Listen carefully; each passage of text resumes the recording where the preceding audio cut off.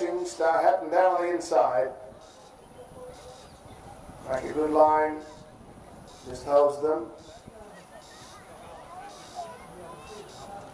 Racing this time, and Star Hatton again only fairly. Sapphire Wings missed the kick. It's tailed off early, but beginning fast was Vista Rose.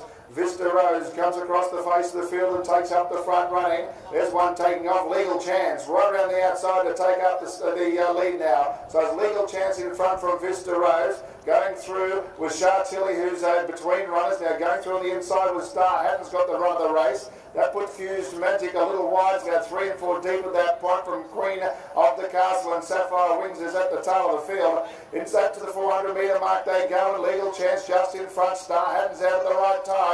Then Chartilly is three wide. Further back was Vista Rose's it today. And the last couple would have been Sapphire Wings with Fused Magic and Queen of the Castle flattening in. Star Hatton ranged up and grabbed the lead. Star Hatton moved up, took the lead, trying to get back with Legal Chance for Star Hatton.